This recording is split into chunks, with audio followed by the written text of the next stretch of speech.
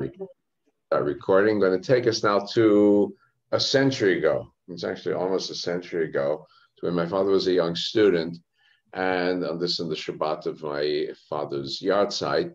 Uh, next week, we're going to continue. I want to talk about the An-Maimonian uh, scholars, the kind of, uh, we may say, the uh, reaction, philosophical reaction, intellectual reaction to the Rambam and some great people like, great thinkers like uh, Rav Yehuda Levi and the Ramban, uh, Ibn Gvirol, and just some samples from others. And then uh, move on uh, as we're preparing towards Pesach, start getting us into the theme of Pesach. So I'll come up with some things towards as we approach Pesach. And uh, any topics that you want, please send them to me. Send them to me. Uh, and if any of you want to take a topic and put your step your feet in the water and lead a topic discussion, let me know. Let me know. Okay, so now I'm going to go back to the screen and I'm going to take us uh, way far back uh, by our time frame. As I said, my uh, my father was, for very justifiable reasons, as I'll explain his life story, uh, a late starter in having a family because he had to pass through World War II before he could get started. So um, he was born 1901 which would make him now 120 if he had lived uh, that long. Uh, it was he passed away 45 years ago. He was just uh, hitting 75, 70, yeah, just above 75 when he passed away. So, because we're still within the theme of Purim, I thought I would open with this to so you could hear him. I have few soundtracks of him when he was serving as rabbi. Let's see if I can get this one. But this one of a Purim celebration. Let's see if I can get this. Yeah, there we go. Purim celebration in a in a refugee camp somewhere in the area outside uh, Frankfurt. He was the serving as the chief rabbi of the Salzheim. state of Hesse. Camp was Salzheim. Uh, this would have been outside of Frankfurt. So Salzheim, you say? Salzheim. Yes. I'm going to take your word for it because I don't have a note yeah, from, that was the, that was the camp, TDP camp. Was. Uh-huh. So what I think is it's also being recorded on radio because he talks about uh, my dear listeners. So I think he's there and it's also being recorded. So here the Hazzan starts up. You can sing along, you know. הנועים ומתו, אמירות נזם ורע, ונתמח את איתו. צמח מונחי צמח, הפרות נשכה, לא נצח לא נשכח הנס. אוי שירה נשיר, כדי שוב שנה עיר, המן הגגי עד מת.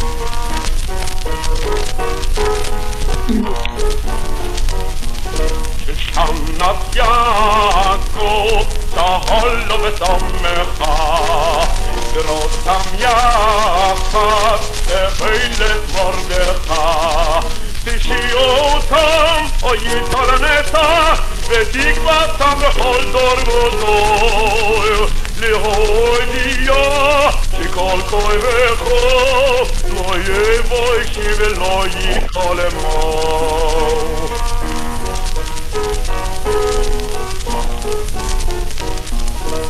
אישי ולא ייכל אמור. Sannat Jakob, da hollo besammecha, Brotam Jacha, der feilet Mordecha. Ari Roman, asher bigoshlapi, Baruch Mordechai Yehudi. Arura deresh, eket mafidi, Berucha Anna Fianco, da hollo vedomme va, Drotam Jahat, der heilet Mordechai. Meine lieben jüdischen Anhörer, der Winter ist bei uns Juden von zwei Halbfeiertagen umrahmt. Den einen feiern wir am 25 des Monats Kislev, des letzten Herbstmonats, den zweiten am 14. des Monats Adar, des letzten Wintermonats. Der erste Halbfeiertag ist das Chanukka-Fest und gilt der Erinnerung an die Siege der Makkabäer gegen Antiochos Epiphanes, die noch auf eigenem Boden zur Zeit des Zweiten Tempels ausgefochten wurden. Der andere ist das Purimfest und gilt der Erinnerung an die glücklich überstandene Verfolgung von Seiten Hamans zur Zeit des ersten Exils im Altpersischen Reich. Okay, so I'll just give you a flavor of his voice because I'm sure not that many of you are that mm. facile with German. Mm. Maybe Joe, you remember enough to follow it, but mm. he's introducing the, to the listeners. It says the winter is bound in Jewish calendar by two festivals. Adar too. All right, small festivals. On the winter, the end of the beginning of the winter is Hanukkah. The end of the winter is Purim. Uh, and then he uh, hmm. goes into the significance of Purim. Uh, Purim that, so I say that's just a, an the experience. Sec, the, sec, yeah, the, sec, the second Haman the second Hanukkah. So now he's reflecting upon what has yes. happened now to the Jewish community and talking to them. Yeah. So now I'm going to shrink this down because we I don't want to get this on and move over here. Enlarge the page for us here. One second. Make this visible. Okay, good. So I've put this up so it'll be visible for you. So uh, just introduce you to my father. Born, as I said, 1901 in Dolina. Uh, was then Austro-Hungary. Uh, and he represents the transition from medieval Judaism to modern Judaism. Austro-Hungary, Galicia was relatively slower to, to westernize. Now, his family already they were already westernized. His father already had gone to a public school under the Austrian system. He already saw to it that he went to gymnasia, Orthodox Jew, but made sure his son went to gymnasia. There was the formal high school. But the Hasidim around them were still Hasidim, and they would attack the westernized kids. There was resentment, the old and the new. Uh, World War One broke out. He fled from uh, Galicia to Vienna. So uh, you have to understand this. Jews have their social rankings also, like all peoples. And the German Jews consider themselves the elite. They look down on the East European Jews. So he was transition, like so many Jews in Vienna, where they were under the German Kulturkreis, the German culture, but they were of East European roots what some of the Germans would call halb Asiatisch, half Asian. Mm-hmm. Well, he, he, was also, uh, as I say, brought up now going to gymnasium, a very westernized or Europeanized education, as well as classic rabbinic Talmudic training. His father wanted both, have both. Uh, and so he was in the Hashomer Hatzair. Somebody familiar with that? Hmm. That was the yeah. most left-wing Zionist movement left you could be in without yeah. being in the Communist Party. Yeah. Basically, that's it. So the leader of his group was Meir Yaari, who became the founder of the uh, Mapam, Mapam in Israel, Mapam Party. Yeah. Um, and everybody who was everybody was a Marxist in those days. Everybody was a Marxist in those days. His best friend in high school later mm. on left to France, became a leader of the Communist Party in France. Later on, he rejected communism, but was a major French literary critic. So that's the atmosphere.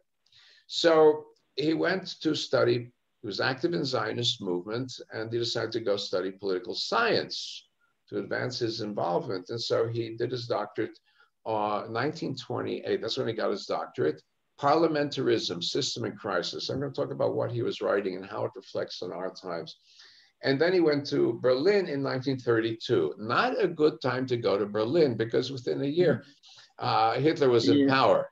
Right? Mm-hmm. He was there in Berlin. He was active in the student at the Hochschule für die Wissenschaft des Judentums, a mouthful, the academy, the higher academy mm-hmm. for the mm-hmm. scientific study of Judaism.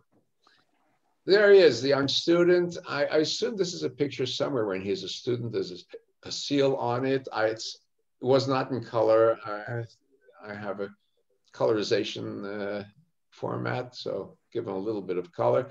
Here he is as a young man. Now he's about 30, as I can figure. He's visiting with his uncle on the and his brother on the coast of Dalmatia, right? What's Yugoslavia then? Dalmatia is now, I think, uh, mm. Croatia. Croatia, I think now. All right. Notice very nice, full-figured, mm. happy man, good circumstances. That's the that's the last time he's a happy man for the next 15 years, give or take. Uh, that was his student ID, right? So in 1935, he was imprisoned by the Nazis for two years. It was set up charges of uh, moving funds. The Nazis had imposed strict monetary controls. He was helping somebody Jewish move funds to get something set up. Uh, Jews are moving funds to try to get things going because the Nazis blocked most businesses. Uh, he got trapped. Uh, so he spent two years he says actually they were very good years because the Nazi regime at that time did not want to kill everybody. And they left him alone. So he was actually able to do his rabbinic ordination sitting in prison by uh, correspondence course. When he got out, he was given his uh, smicha, his actual ordination. Again, by this time, all by long distance, because everybody is scattered. And his thesis was a study of the psychology of Jewish heretics. I've been looking for the thesis, nobody could find it for me, which is too bad. It would have been interesting. This is his prison record. Plotzensee. Plotzensee is uh, Brandenburg near Berlin. Mm. Uh, so uh, he was there when it was still safe, relatively speaking. You see his birthplace, Dolina, Poland. At that time was now considered Poland, so they used that as the record. Well, he fled first to Vienna because the Germans, uh, the condition to get him out of jail was that he leave Germany, never set foot again. He, he ran to Bern, uh, Vienna, and as soon as the Germans came into Vienna, he wasn't going to wait around, and so he and his brother also fled to Czechoslovakia. They're hoping to go to Argentina, but they never got the visa in time. So they ended up going east instead of west. And lo and behold, the Germans have their uh, march into Via, into Czechoslovakia, thanks to uh, Neville Chamberlain and Peace in Our Time. And first thing that the Germans did was round up all suspect characters. So, so they had a record on him. They rounded him up. He spent half a year in a notorious political prison. Uh, it was an old castle that had been remade. Was famous as actually prison of the nations. The Austrians used it to capture all their political prisoners for 200 years before that. And it is known as Spielberg.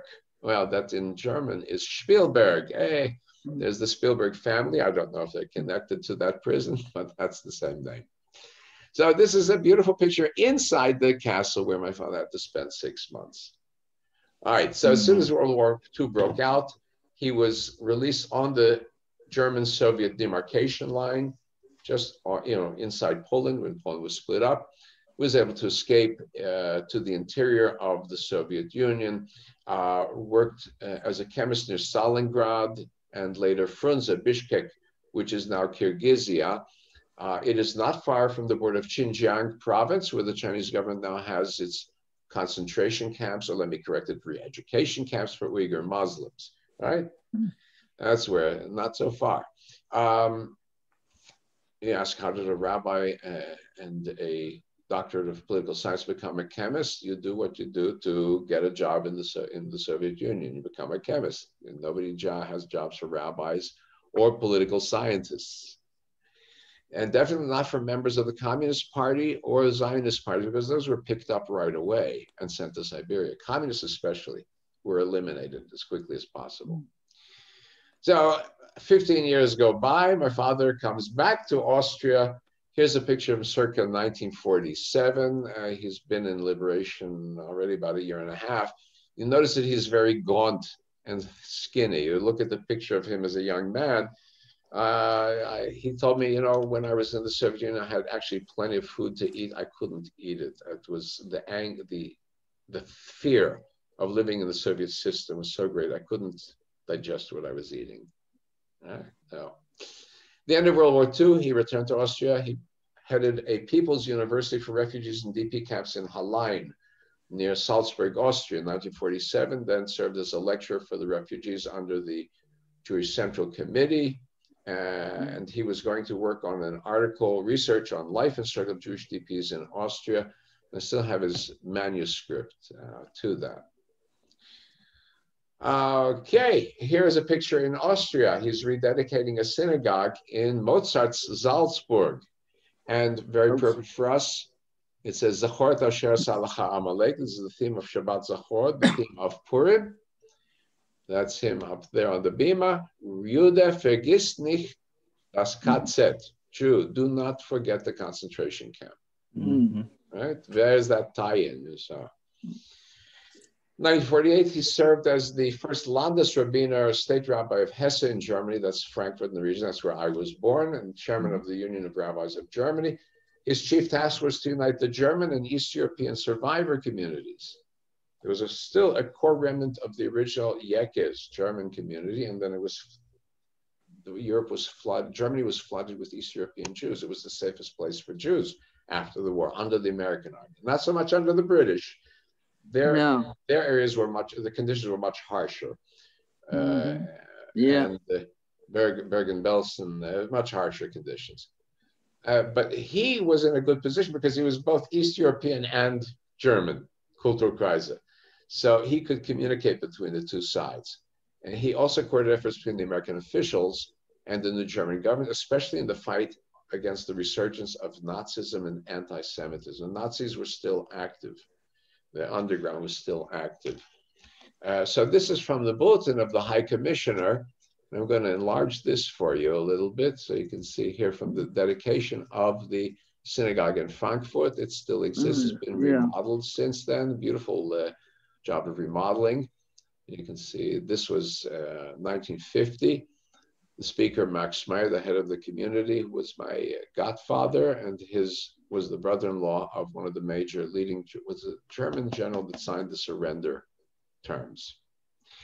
Because he had a Jewish either he had a wife who had a Jewish brother, something like that. Uh, that's how he saved. He was survived. He survived. And here is my father holding Torah scroll. In the center is the cantor. There's my father, and there's Rabbi Blut, who was his uh, dayan, the rabbinic judge for the Jewish community, towards the Orthodox community, who signed my documents when I wanted to get married, indicating, proving that I was Jewish. Here he is at the center stage. Notice that he's wearing a beret. He refused to wear the classical rabbinic hat, uh, which was like the bishop's hat. He said, We are going to be this thing. Uh, the choir, and you see the pipe organs, it's the second largest organ in Germany, was in that synagogue. And here the dignitaries, the uh, retiring ECA mission chief in Germany, the wife of the High Commissioner, John J. McCloy, uh, the federal minister for refugees, and the president of the German Central Banking Council, right? Some major dignitaries appeared at that. Let me go ahead, go back to size down, and then came to the States in 1951, served as a rabbi in several congregations, member of the Rabbinical Assembly, passed away March 16, 1976. So his documents are at the United States Holocaust Memorial Museum, and there's a link if anybody wants to follow it up to find the actual documents. So, what's my theme for today? When uh, I'm going back now, it is just about 100 years ago. Okay, just about 100 years ago, my father enrolled in uh, the Faculty of Law at the University of Vienna. Uh, faculty of Law was a cover for a lot of social sciences, and not just law. And his area was Staatswissenschaft right? The science of running society, political science. So my father typed his thesis at the time. Hitler had just come out of Landsberg prison and had not had a single electoral victory. Is Nationalsozialistische Deutsche Arbeiterpartei, that's the Nazis, barely scored a few seats in the Reichstag, the parliament. Nazism was so insignificant that in this thesis, my father did not mention it. Right? He was writing 1926, did not mention Nazism.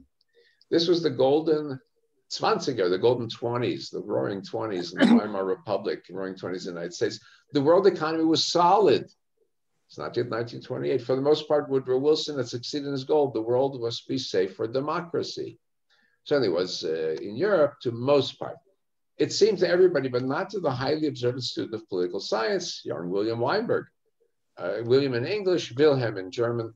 He was just 25 and he typed his thesis Parliamentarism, System, and Crisis. So he finished his studies, defended his thesis, and November 14, 1928, received his signed doctorate. Very good period to get the doctorate. It was almost 10 years to the date of the armistice, 10 years after the armistice of World War I, November 11, 1918, that war that would make the world safe for democracy. 10 years later, almost to the date, the opening uh, would bring us to the opening of the genocide of the Jews, Kristallnacht, November 9, 1938. Ah, mm. right in between these two significant events. So here's the cover of his thesis.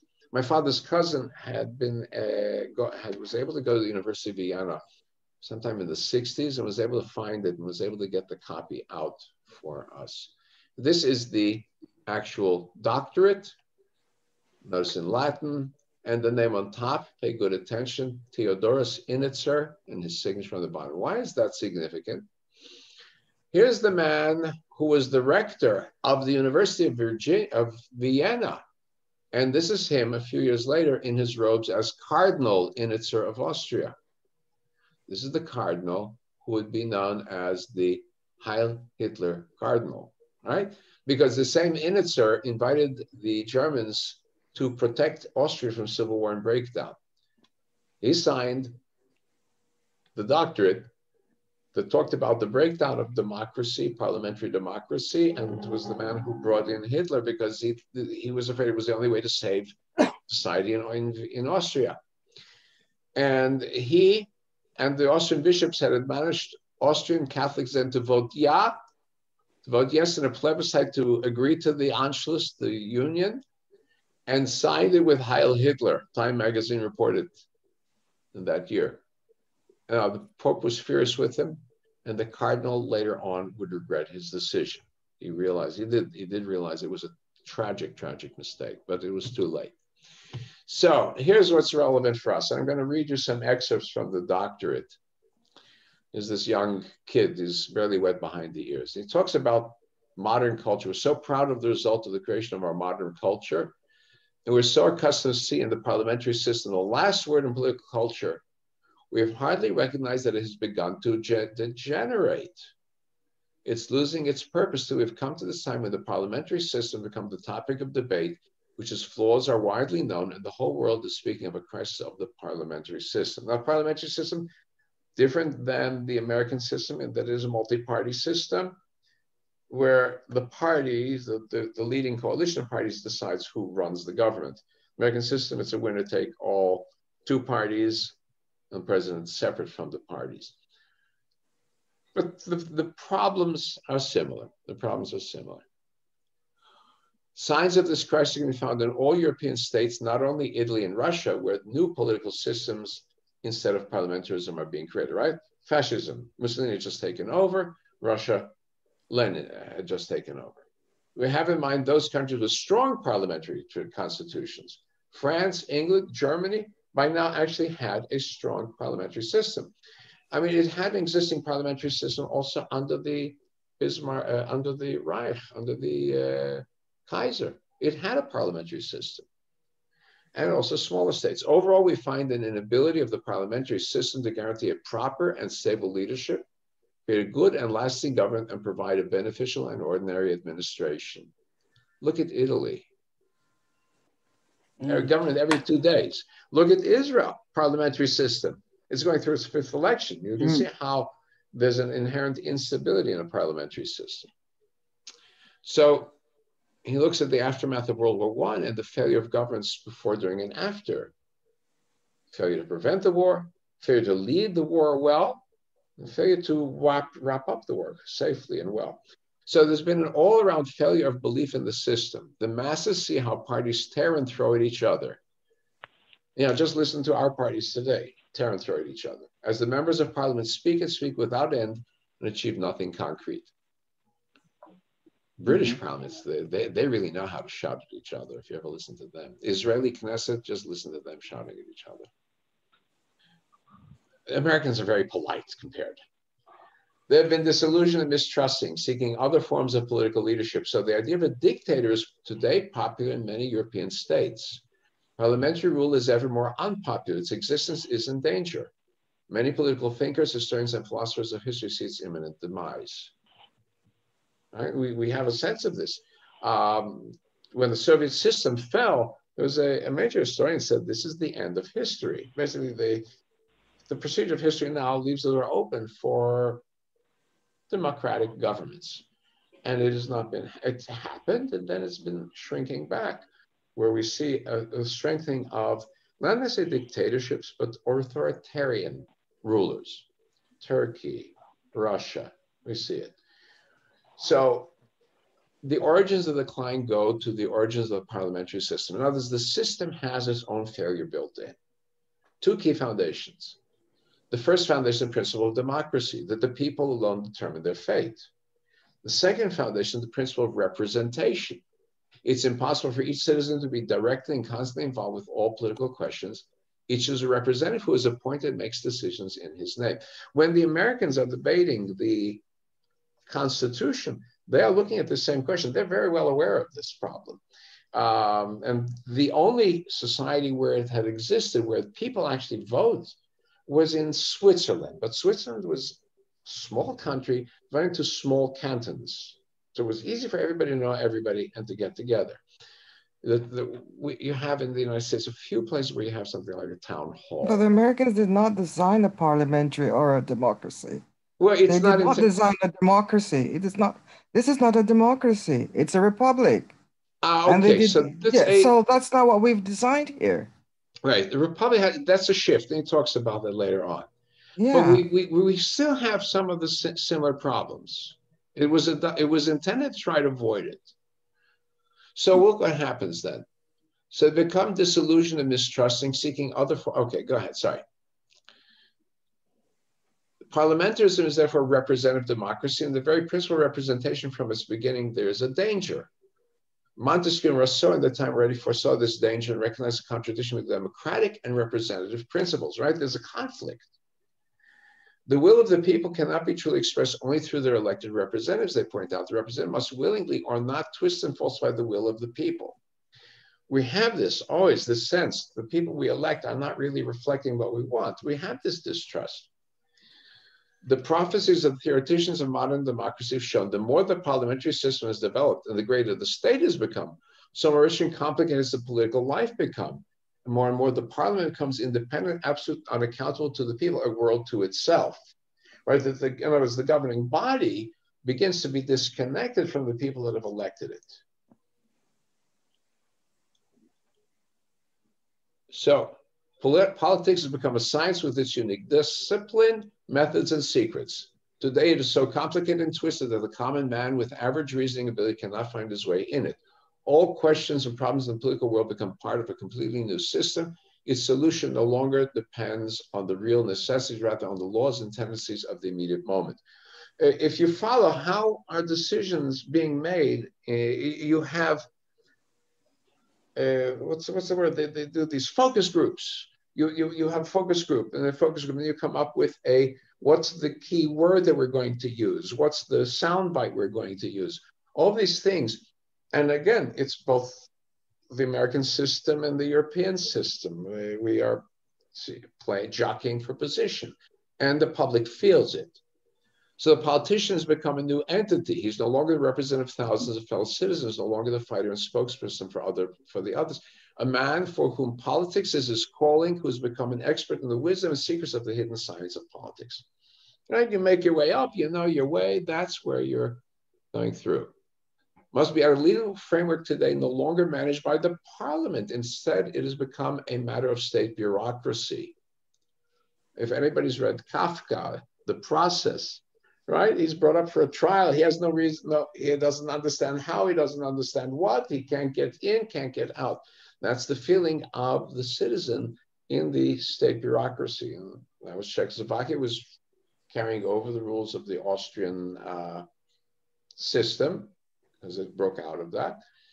So this happens naturally when one thinks of what degrees of knowledge and expertise it is necessary to shape a law. So we're going to make a law you know that you know how sausage is made.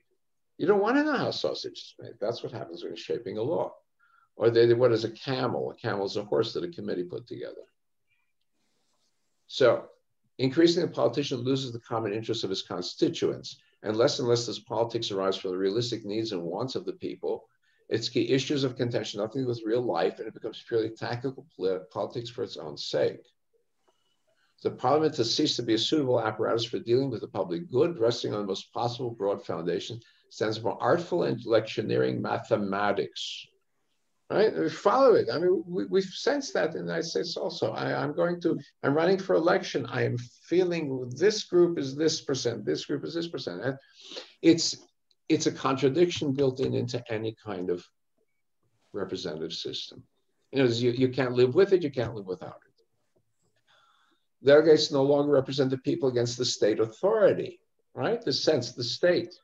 And You listen to people talking today. Also, the state, the bureaucrat, anybody who's worked with any kind of government agency in any position, top or bottom, understands. When you're dealing with a bureaucrat, go and talk to the wall sometimes. Uh, with with right? They fail to act as a vent for individual initiative and freedom of the soul. Delegates' legislative effectiveness identify with the will of the state and its political activity. His attachment to the influence of party organization restricts himself to the influence of the party leader. Now, to some extent, the American system, you could break from the party, right? You, you have more uh, personal representation. The British system also, uh, there is more ability to break from the party, but they're still playing a lot of these number games. It's a bad system. Huh? It's it's the, it's the, it's uh, what the, who said it? Democracy is a terrible system, but it still beats anything else. That's um, the problem. It's built in. It's inherent in the system. So it's no wonder people disappointed and different to Parliament. That was Churchill. Huh? Churchill. That's it. That was Churchill. Parliamentary, he was right. Yeah. Parliamentary politics. They lose their loyalty. So then he talks about well, what happens then is other countries are looking for new political form to inherit the role of the parliamentary system. So now in Europe, two such systems, fascism in Italy and Sovietism in Russia. Notice he's, no, he's not even talking about uh, Nazism in Germany. Nazism really is, is a different beast even from fascism. And it takes a, it, it goes far to the extreme of fascism. Uh, what the advocate here about fascism, what the advocates of just dictatorship intend is the application of extra parliamentary means to achieve political demands understand well, that those have a far and wide view and can move above the needs of separate groups can, seeing the hardship of the totality, see this machine that makes much racket and much of little good. Therefore, they're dissatisfied. They think of the dictator as someone who can lead people by stark will over all difficulties. Right? Uh, we have a weakness for the strong man on a horse. And so the Italians went that route. And then, of course, uh, he follows up and he says the problem will be that it is only as long as that strong man is in existence. The strong man falls apart or dies, is very hard to follow through on that. And so the fascist system is, would eventually disintegrate. It's dependent on just on an individual. He says the other system provides the great concept that's missing in fascism. So fascism was built on the strong man. The other system is built on concept the Soviet state upon a new foundation, the economic basis of means of production, derived from the Marxist concept economy as the central force of history. So life is organized so the individual can find his purpose fulfilled to the highest in the productivity of the factory under control of the workers. That's where, when the worker controls his production, he finds his highest productivity. He is tied to his labor. Its failure lies in the over, overestimation of the significance of economics a people cannot establish a political organization on the basis of economics alone. It's too fully subject to industrialization. Uh, and he is, this is 1928, they're not yet aware of the extremes in which the Lenin Stalin system is enforcing collectivization at the cost of tens of millions and at the force at the cost of tremendous uh, shutting down of individual thought and at the cost of eating even their own leaders and leadership. That comes out later. So on the other side, so he says, well, here's the conflict that we see today. Labor organizations, European labor organizations, more heavily socialist than Americans, bend parliament to their will in that direction. On the other, corporations back nationalist movements.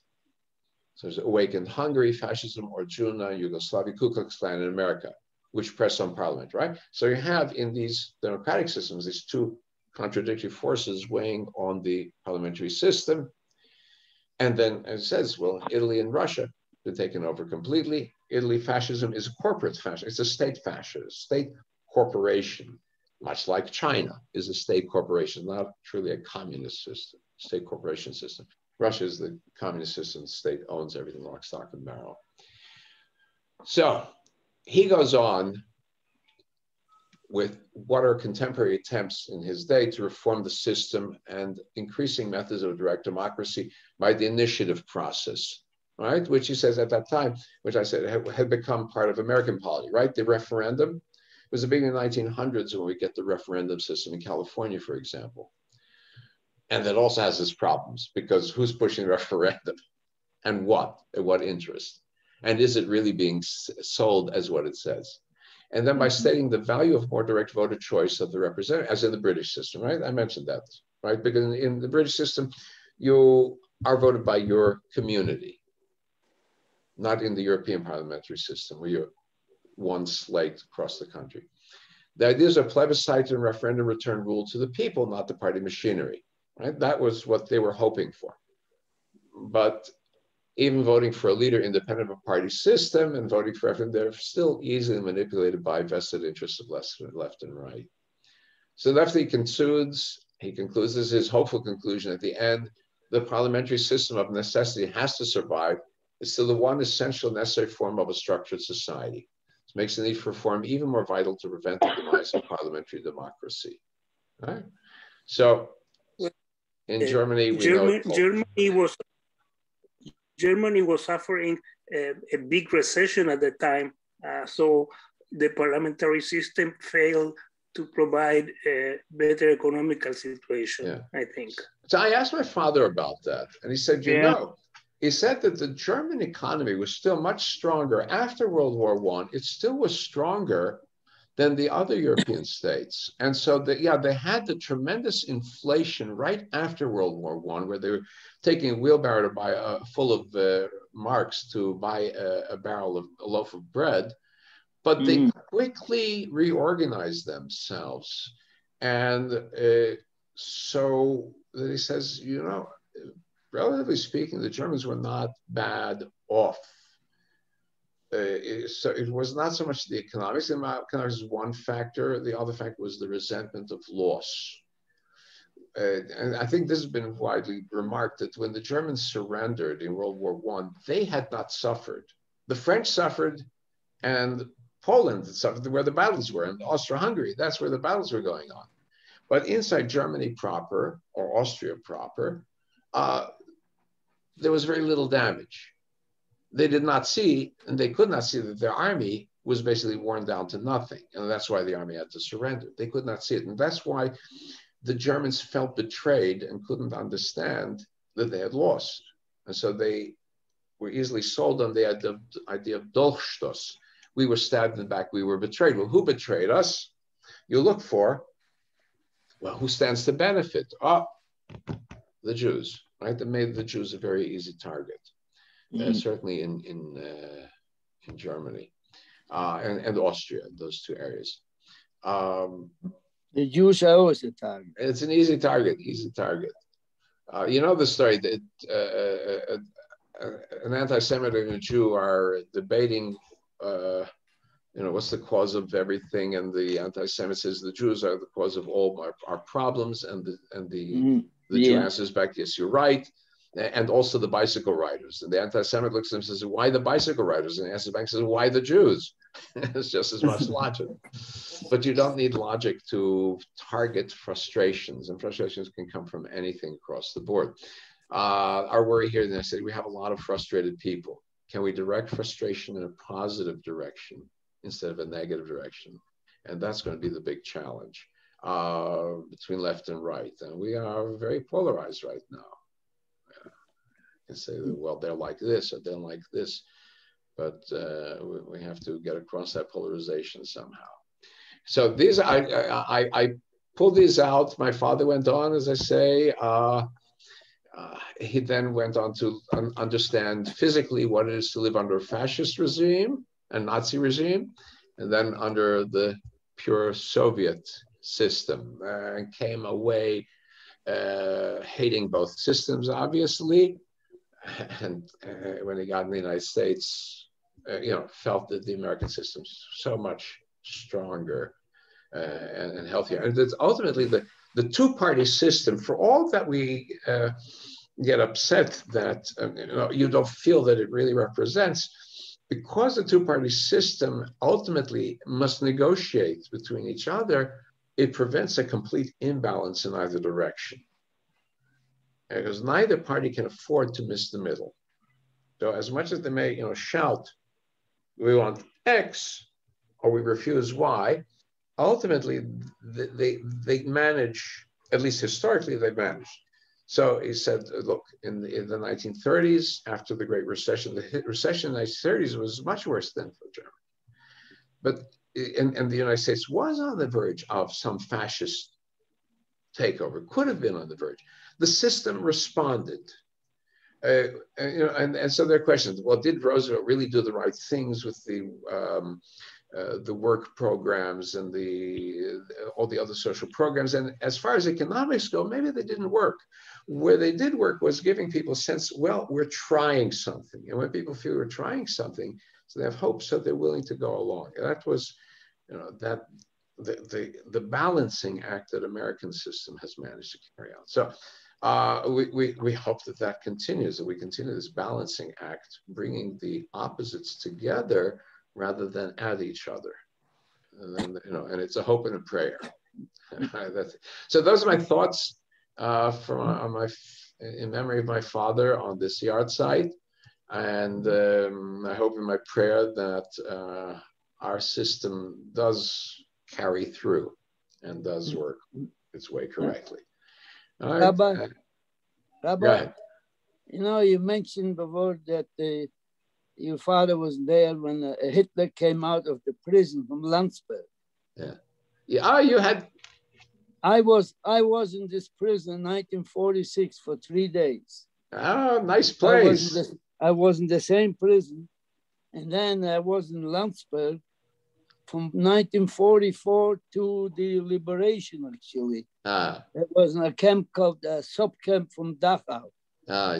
Camp number seven was in Landsberg. Yeah, mm. uh, that's it. Look at these places that we end up in. Yeah, you've been in every every notorious place. What can I tell you? Yeah, I yeah. I was three days in that prison. Yeah. Uh, Landsberg. So the prison my father was in, um, the, the one in Berlin, uh, first he was arrested and taken to one called the Moabit. That was his interrogation prison. And uh, later on, uh, it was a notorious place for the Nazis to put their undesirables. And then Brandenburg, uh, where he spent the main yeah. time, also after he left, was used uh, as a place where they would execute their un, unwanted political leadership. Uh, by the way, in prison, you had, he said they were either communists, which made sense, or real Nazis. In other words, mm-hmm. as soon as Hitler came to power, you may know, he immediately arrested his true believers. There was another leader, Roemer, who was even more militant than Hitler.